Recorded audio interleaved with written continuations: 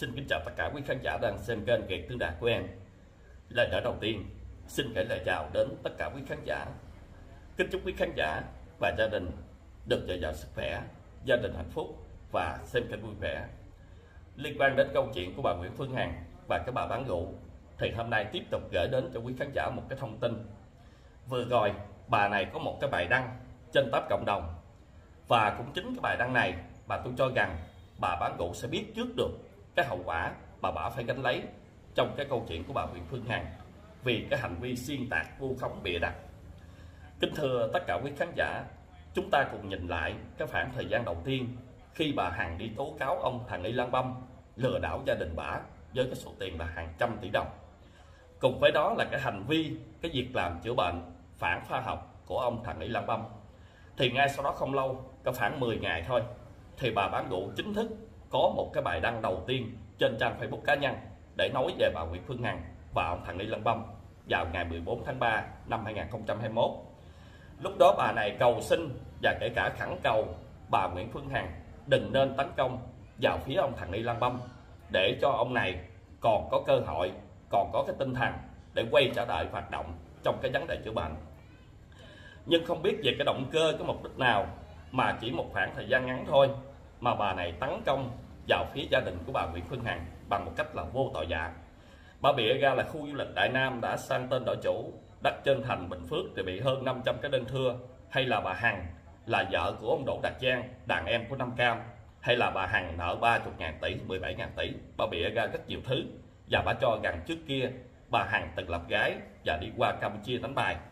Thì dư luận người ta đặt ra cái câu hỏi về cái động cơ, cái mục đích nào mà bà này tấn công vào phía gia đình của bà Nguyễn Phương Hằng như vậy. Nhưng theo một cái đoạn ghi âm giữa cô Diệp Đậu và Thanh Trần đó, thì trao đổi với nhau giữa hai người này, đoạn ghi âm đó tôi còn giữ ở đây.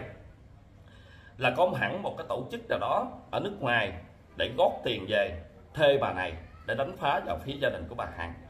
Vì người ta thấy trước kia bà này làm trong cái câu chuyện đầu ga đó, là bà lên ngân hàng VPBank đó, bà quậy quạng ở đó, bà làm náo đoạn trong suốt một khoảng thời gian rất là dài, nói chung là bà rất là cứng đầu, cứng cổ. Bà ly lợm lắm, cho nên người ta chuyển tiền về, người ta thuê bà để tiếp tục đánh phá vào phía gia đình của bà Hằng. Rồi đến ngày 24 tháng 3 năm 2022 khi bà Nguyễn Phương Hằng chính thức bị khởi tố và bắt tạm giam, thì cách sau đó hai ngày, bà này có lên một cái đoạn video rất là dài, hơn 30 phút, khóc lóc kể lễ cầu xin được rút khỏi cái câu chuyện của bà Nguyễn Phương Hằng. Thì chúng ta thấy là cái thời điểm mà bà Nguyễn Phương Hằng bị bắt vào ngày 24 tháng 3 đó thì sau đó là ngày 26 đó cái video hơn 30 phút cái video đó mới chính là con người thật của cái bà bán rượu. Nhút nhát sợ sệt. Khi thấy cơ quan chức năng đến khởi tố và bắt tạm giam bà Hằng á, là bà này mới rất là gung bà sợ. Nhưng mà chắc có thể có một cái tổ chức hoặc là cái người nào đó động viên cái tinh thần cho bà cho nên không bao lâu đó, bà vẫn tiếp tục quay trở lại để tấn công vào bà Nguyễn Phương Hằng và tiếp tục gây áp lực cho cơ quan chức năng để khởi tố bắt tạm giam ông Quỳnh Vĩ Dũng và một số các kênh youtuber mà có cái tiếng nói ủng hộ những cái việc làm đúng đắn của gia đình của bà Nguyễn Phương Hằng. Thì nếu như các kênh youtuber mà bị bắt đó một vài kênh thôi có khoảng năm bảy kênh 10 kênh thôi, thì sẽ không ai dám nói về cái chủ đề của bà Nguyễn Phương Hằng hết vì thực chất là người ta rất là sợ về vấn đề pháp lý. Mà ở đây người ta đâu có phải làm theo cái sự thê mướn, xúi dục của bà Nguyễn Phương Hằng đâu. Cho nên người ta đâu có sợ. Người ta thấy chuyện gì sai trái trên mạng xã hội đó, thì người ta lên tiếng, người ta phản ánh. Đến khi con của bà Nguyễn Phương Hằng có cái đơn tố cáo ông Huỳnh Uy Dũng với cái vai trò đồng phạm với bà Nguyễn Phương Hằng và bên phía tòa án trả hồ sơ về bên phía viện kiểm sát, yêu cầu làm rõ ba cái nội dung đó và hàng ni từ trong trại tạm giam có đơn tố cáo ông Huỳnh Vĩ Dũng. Thì chúng ta thấy là bà này như là đắc lợi rồi. Bà quá mừng. Tại vì bà cứ nghĩ là khẳng định là ông Dũng sẽ bị khởi tố và bắt tạm giam. Và chắc có một cái sự trao đổi cấu kết với cái tên lực gia ngu dốt là Trần Đình Ngu đó.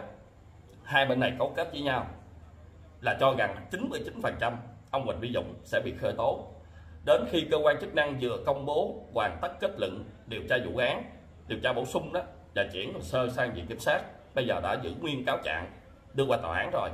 Thì bây giờ bà biết trước được là cái hậu quả trong câu chuyện của bà Nguyễn Phương Hằng. Bà phải gánh lấy là nó sẽ thê thảm đến cỡ nào. Còn các kênh youtuber á, thì không có đồng phạm với bà Nguyễn Phương Hằng. Thì chúng ta thấy là bà này bà lồng lộn lên rồi. Tại vì bà đặt rất nhiều niềm tin là ông Quỳnh Huy Dũng sẽ bị khởi tố và bắt tạm giam. Và hơn nữa là các kênh youtuber nhưng quý khán giả thấy trong mấy ngày gần đây đó thì bọn chúng lồng lộn, gào thét, la làng la lửa lên. Tên Trần Định Thu á thì do người dân mắc niềm tin vào cơ quan chức năng, vì cơ quan chức năng không khởi tố ông huỳnh duy Dũng. Nhưng mà cơ quan chức năng lực pháp thì người ta làm việc đều có căn cứ, đều có quy trình, không có dấu hiệu phạm tội hình sự, thì làm sao ta khởi tố huỳnh duy Dũng được? Và khi như vậy rồi, bà đăng lên một cái bài như thế này. Nam Mô A Di Đà Phật. Nội tôi nghe cái bài đăng của bà thôi, là tôi thấy bà này sẽ nhận lấy một cái thất bại không hề nhẹ trong câu chuyện của bà Nguyễn Phương Hằng. Hết rồi. Tất cả mọi thứ bây giờ nó đã đi vào cái nề nếp đi vào khuôn khổ rồi. Chúng ta chờ đợi một cái kết cuối cùng tại tòa án thôi. Đây bây giờ bà đăng lên vậy Nam Mô A Di Đà Phật. Phước ai nấy hưởng nhà ai nấy ở. Bà phải nói là căn ai nấy hưởng ha, quả ai nấy mang. Đó mới đúng. Còn cái gì mà phước ai nấy hưởng nhà ai nấy ở? Nói cái gì mà nói đạo lý mà nói cũng không gành nữa. Bởi vì người ta nói sống không hợp lý thì làm sao mà nói đạo lý được? Hạnh phúc của người nghèo khi có một thành quả nào đó họ hạnh phúc, thụ hưởng. Nói cái gì không ra gì chân á, không ra cái đám ôn đám gừng gì chân á. Hạnh phúc của người giàu là yên vui, sống hưởng thụ tiền của mình. Ai nghèo thì hưởng thụ ít, ai giàu thì hưởng thụ nhiều. Đừng vì chuyện riêng của gia đình mình mà làm phiền xã hội. Tôi thấy cái gia đình bà là làm phiền xã hội nhiều nhất đó không có cái gia đình nào cái gia môn nào mà làm phiền xã hội hơn gia đình bà hết. Đội bà thấy chỉ có một gia đình bà thôi. Mà bây giờ là nhận vài chục cái phiếu chuyển đơn rồi. Thấy chưa? Không có gia đình nào hơn gia đình bà hết trơn. Thực chất bây giờ cơ quan chức năng người ta gặp cái đơn của gia đình bà thôi. Người ta cũng cảm thấy rất là ngán ngẩm. Vì cái hành động của bà phải chi bà sống hiền hậu nhân từ có đạo đức á, thì người ta gặp cái đơn bà người ta còn giải quyết. Còn bây giờ cái gia đình của bà đó không có chấp hành luật pháp mà luôn chửi bới, vu khống, nhục mạ, xúc phạm. Các điều tra viên đó, ai mà thụ lý vụ án thụ lý đơn của bà đó. Tạ trần anh tú thì bà cũng đòi tố cáo. Cậu di đó là bà đưa tay bà sĩ vào mặt người ta. Ông trưởng công an phường 2 quận Tân Bình thì bà cũng nói người ta là lừa đảo chiếm đoạt tài sản. Ông trà văn lào đó bà cũng tố cáo người ta. Điều tra viên hồ thọ hải thì bà đòi lột lon người ta khi tới ký giấy triệu tập bà. Bà thấy còn cái chuyện gì nữa không? Tòa án viện kiểm sát bà không từ bất cứ một ai cho á. Lên cơ quan chức năng thì quay phim chụp hình. Gia đình bà làm loạn nhiều nhất, chứ không ai khác, ha. Đây. Trời phạt cho ai có chút tiền, nhưng không biết sử dụng đúng mục đích. Dùng những đồng tiền giúp ích cho đời thì phước đức tăng cao. Nếu dùng tiền để chiêu dụ và thuê mướn người khác, cùng hành vi vi phạm pháp luật thì phước đức tiêu tan. Ý bà nói đây mà mỉa ai mà mỉa mai ai thì quý khán giả cũng đã biết, ha những ai cùng người khác gây nghiệp ác sẽ cùng chia nghiệp. Chướng với họ cả về cõi âm và chia tù tội ở cõi dương đó. Nói cái gì mà không hiểu cái gì luôn đó. Bà nói ra không biết bà hiểu không mà không biết gia đình bà đọc có hiểu không nữa. Bởi vì con người sống không có đạo đức, thì sao mà đi nói đạo lý được? Nói đạo đức lý ai mà nghe? Đầu đinh không đăng hình gì, cao sang. Chỉ đăng ba tấm hình, mặc áo dài đi chùa, mặc đồ sơ mi, đi học ở trường đại học trường đại học luật và mặc áo khi thực tập tốt nghiệp tại bệnh viện thôi nhé. Là bà đăng lên ba tấm hình đó. Bà có cái hình gì cao sang? Bà gặp xe người ta, bà cũng bay lên bà chụp hình nữa nhà lầu của người ta, bà cũng đứng mà chụp hình nữa cái gì cũng có bà hết trơn, ở đâu cũng có dấu găng bà hết trơn á. Tôi không khiêu khích ai, mà bà đâu khiêu khích bà chửi trên đầu ta không à. Tôi không khiêu khích khích ai, không chọc kẹo ai. Vì bên cạnh tôi còn có anh người yêu 12 năm, và gia đình hai bên cùng tất cả các bạn bè thầy cô của tôi ở các trường phổ thông lẫn trường đại học thành phố Hồ Chí Minh à, đại học Sài Gòn trường y dược Lê Hữu Trác. Thôi má ơi má người yêu 12 năm má tuyên bố là bốn từng đám cưới 8 từng đi Canada cuối cùng đi chưa?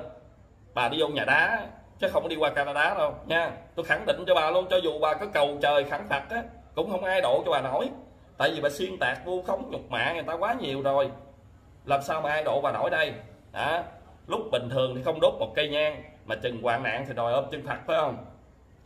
Cảm ơn mọi người đã là bạn của tôi. Không bao giờ tôi để mình vi phạm pháp luật, vì tôi chỉ muốn các bạn và thầy cô cùng gia đình tự hào là bạn của tôi đầu đinh. Trời ơi trời, tôi nghe cái tôi muốn ói hết sức cái trời. Bây giờ ai, bạn bè của bà, bây giờ bà điện bà nhắn tin, tôi chưa chắc ai dám trả lời nữa. Tôi nói thẳng luôn, bây giờ ông nào mà trả lời chỉ đường đi nước bước cho bà đó sau này là đồng phạm luôn nha. Sau này là đồng phạm hết. Viết vòng tâm sự này à, để làm động lực vượt qua sự tức giận ngoài xã hội. Nếu ai đó còn chú ý đến tôi như vậy có nghĩa là họ rất sợ tôi và muốn triệt tôi để tránh hiệp họa cho họ. Nói chung ai cũng sợ bà chứ tôi rất là sợ luôn. Tôi nghe đến tên bà là tôi sợ rồi. Tôi ra đường tôi nói rồi tôi đang đi á tôi gặp phải phăng là tôi còn né ha có khi tôi đạp luôn tôi đi đó còn tôi gặp bà là tôi phải né tôi đi được khác đó. tôi là tôi sợ bà đó. Nhưng tôi không tức giận gì. Viết ra hết là sẽ tiêu tan tức giận. Nam mô a di đà phật. Thánh thần ơi con cũng nam mô a di đà phật luôn nha. Nam mô a di đà lạt luôn lại bà luôn nha. Lại bà luôn. Bà là giống là má thiên nhiên là mẹ thiên hạ rồi. Bà yêu cầu khởi tố 46 kênh youtube 35 kênh youtube. Bà biết nếu mà mà cái đơn của bà đó tố cáo tập thể đó, mà khởi tố 35 kênh youtube theo cái ý của bà đó. Bao nhiêu gia đình phải tan nhà nát cửa chưa hả? Mà khởi tố về tội gì? Xúc phạm bà hả? Bà đi chửi bới, đi xuyên tạc, đánh phá vào công ty doanh nghiệp. Xúc phạm cơ quan chức năng. Đó, rồi bây giờ người ta lên, ta nói bà khi mà gọi đến cái tên bà thôi, bà nhảy lồng lộn lên. Sau lúc mà mới bắt bà hằng đó, mới bắt tạm giam bà hằng đó sao lúc đó khóc chi vậy? À khóc như bà điên vậy? Sao lúc đó khóc, lúc đó là cái bản chất là cái con người thật của bà đó con người thật của bà là lúc trong cái video bà khóc đó đó. Nhưng mà sau đó thì có một cái động cơ, có một người đó trắng an cái tinh thần của bà. Là bà tiếp tục quay lại để gây áp lực cho cơ quan chức năng. Là phải khởi tố ông Quỳnh Duy Dũng. Bây giờ bà hẳn lắm, phải không? Bà hẳn lắm.